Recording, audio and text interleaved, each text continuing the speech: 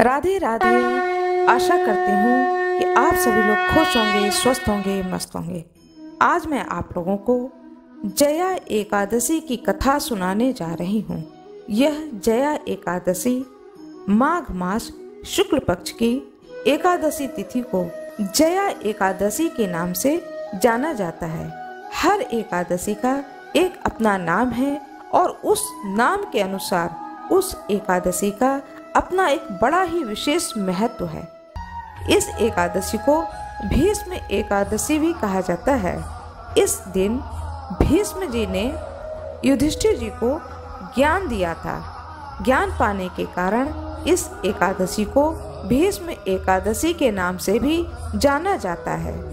एकादशी व्रत को व्रतों का राजा कहा जाता है। वह इसीलिए कहा जाता है क्योंकि जो कोई भी एकादशी के व्रत को धारण करता है, नियमों का पालन करता है, उस पर भगवान श्री हरि विष्णु की कृपा सदा सर्वदा बनी रहती है। वह व्यक्ति इस पृथ्वी लोक के सभी सुखों को भोग कर मृत्यु के बाद बैकुंठ धाम को प्राप्त करता है। जया एकादशी की कथा को बड़े ही भक्ति भाव से सुनते हैं। कृपया कमेंट बॉक्स में, जय श्री लक्ष्मी नारायण अवश्य ही लिखते हैं। बड़े ही प्रेम पूर्वक भक्ति पूर्वक इस कथा को सुनते हैं। माघ मास शुक्ल पक्ष की जया एकादशी की कथा। एक बार युधिष्ठिर जी ने भगवान श्री कृष्ण से कहा कि आपने माघ मास के कृष्ण पक्ष की षड तिला एकादशी का वर्णन किया है। अब कृपा करके यह बतलाइए कि शुक्ल पक्ष में कौन सी एकादशी होती है, उसकी विधि क्या है, तथा उसमें किस देवता का पूजन किया जाता है? भगवान श्री कृष्ण कहते हैं, राजेंद्र, बतलाता हूँ, सुनो, माघ मास के शुक्ल पक्ष में जो एकादशी होती है, उसका नाम जया है। वह सब पापों को हरने वाली उत्तम तिथि है। पवित्र होने के साथ ही पापों का नाश करने वाली है, तथा मनुष्यों को भोग और मोक्ष प्रदान करती है। इतना ही नहीं, वह ब्रह्म हत्या जैसे पाप तथा विशाचत्व का विनाश भी करती है। इस व्रत को करने पर मनुष्यों को कभी भी प्रेत योनि में नहीं जाना पड़ता है। इसलिए राजन प्रयत्न पूर्वक जया नाम की एकादशी का व्रत करना चाहिए। एक समय की बात है स्वर्ग लोक में देवराज इंद्र राज्य करते थे। देवगण पारिजात वृक्षों से भरे हुए नंदनवन में अप्सराओं के साथ विहार कर रहे थे। पचास करोड़ गंधर्वों के नायक देवराज इंद्र ने स्वेच्छा अनुसार मन में विहार करते हुए बड़े हर्ष के साथ नृत्य का आयोजन किया। उसमें गंधर्व गान कर रहे थे, जिनमें पुष्प दंत चित्रसेन तथा उनका पुत्र, ये तीन प्रधान थे।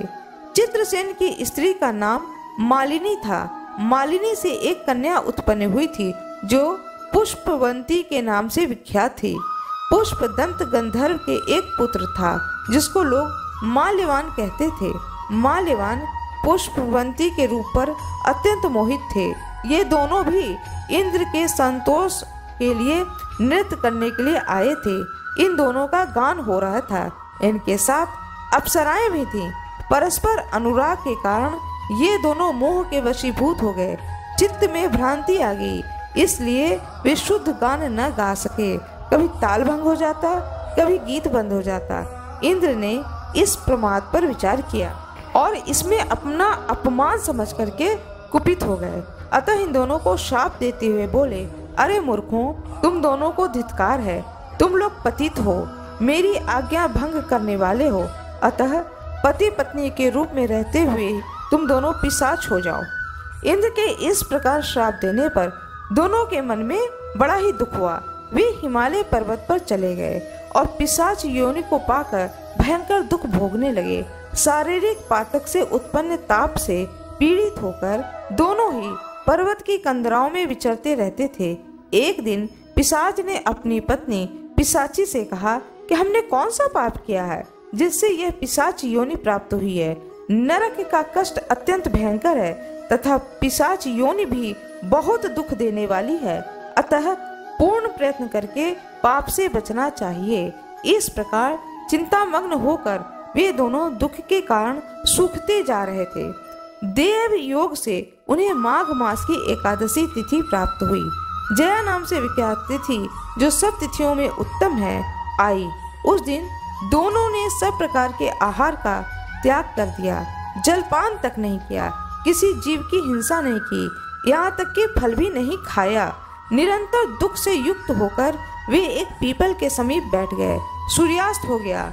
उनके प्राण लेने वाली भयंकर रात उपस्थित हुई। उन्हें नींद नहीं आई। वे रति या कोई भी सुख नहीं पा सके। सूर्योदय हुआ। द्वादशी का दिन आया। उन पिशाचों के द्वारा जया के उत्तम व्रत का पालन हो गया। उन्होंने रात में जागरण भी किया था। उस व्रत के प्रभाव से भगवान विष्णु की शक्ति से उन दोनों की पिशाचता दूर हो गई। पुष्पवंती और माल्यवान अपने पूर्व रूप में आ गए। उनके हृदय में वही पुराना स्नेह उमर पड़ा था। उनके शरीर पर पहले ही जैसे अलंकार शोभा पा रहे थे, वे दोनों मनोहर रूप धारण करके विमान पर बैठकर स्वर्ग लोक में चले गए। वहाँ देवराज इंद्र के सामने जाकर दोनों ने बड़ी प्रसन्नता के साथ उन्हें प्रणाम किया। उन्हें इस रूप में उपस्थित देखकर इंद्रदेव को बड़ा ही विस्मय हुआ। उन्होंने पूछा, बताओ, किस पुण्य के प्रभाव से तुम दोनों का पिशाचत्व दूर हुआ?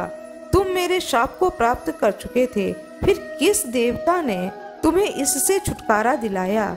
माल्यवान बोले, स्वामी, भगवान वासुदेव की कृपा तथा जया नामक एकादशी के व्रत से हमारी पिशाचता दूर हो गई। तब इंद्र देवता ने कहा कि तो अब तुम दोनों मेरे कहने से सुधा पान करो। जो लोग एकादशी के व्रत में तत्पर और भगवान श्री कृष्ण के शरणागत होते हैं, वे हमारे भी पूजनीय हैं। भगवान श्री कृष्ण कहते हैं, राजन, इस कारण एकादशी का व्रत करना चाहिए। नृप श्रेष्ठ जया ब्रह्म हत्या का पाप भी दूर कर देने वाली है। जिसने जया का व्रत धारण किया, उसने सब प्रकार के दान दिए और संपूर्ण यज्ञों का अनुष्ठान कर लिया। इस महात्म के पढ़ने और सुनने से अग्निष्ठ होम यज्ञ का फल प्राप्त होता है। भगवान श्री कृष्ण की जय हो। सभी देवताओं की जय हो। भगवान श्री हरि विष्णु की जय हो। सभी ऋषियों की जय हो। सभी दृश्य ऋषियों की जय हो। सभी अदृश्य ऋषियों की जय हो। आशा करती हूँ कि जया एकादशी की यह कथा आप लोगों को अच्छी लगी होगी। कृपया वीडियो को लाइक ज़रूर कर दीजिएगा, चैनल को सब्सक्राइब कर दीजिएगा, बेल आइकन दबाना ना भूलिएगा, कमेंट बॉक्स में जय श्री राम अवश्य ही लिख दीजिएगा।